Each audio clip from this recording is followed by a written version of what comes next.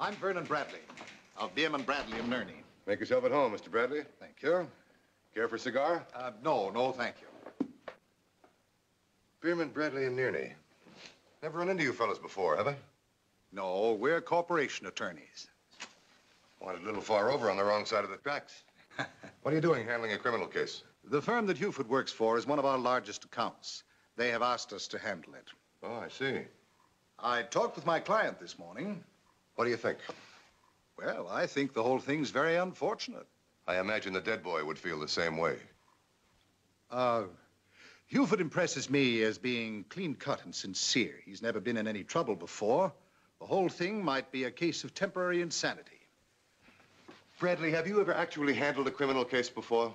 I told you we were corporation attorneys. You enter a plea of temporary insanity, you'll be laughed right out of court. Well, I hardly... I have witnesses, man. He wasn't insane, he was drunk.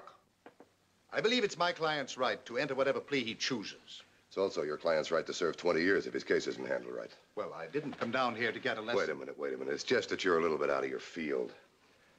I feel that Hufford's had a bad break. I'd, I'd like to see him get a good one now.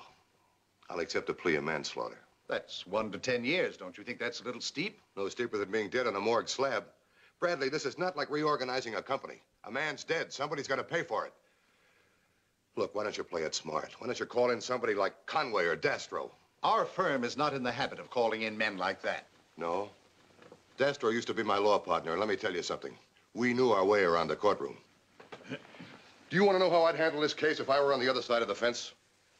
First, I'd object on any juror that didn't have a son in the service. Then I'd drag out his war record. I'd spend two days on it. I'd take it from the day he entered boot camp to the day he got his decoration on Okinawa. Then I'd pull in 50 character witnesses. From the old lady who's known him since he was born to his last commanding officer. Then I'd start in on intent. That's important, Bradley. Was there any intent? I'd harp on it till it was coming out of the judge's ears. You got all of that, Eddie? Yes, sir. I'll give you a copy, Bradley. Thank you, Mr. Knowland, but I don't think I shall need it. You don't, huh? It's a little emotional for me. I've always believed that the law is pretty well stated and that the less emotion brought into it, the better. Let me tell you, there's a lot of emotion connected with killing somebody. Seeing your client go up for a few years has even more. We shall try to see to it that that doesn't happen. Goodbye, Mr. Knowland. And thank you. There goes a first-class, double-breasted, overstuffed idiot. Yeah. Too bad for Hufford. Yeah. Here's a case a junior law clerk could win with an IQ of 50. What now, boss? Type that up. We'll put a copy in the mail to Bradley anyway.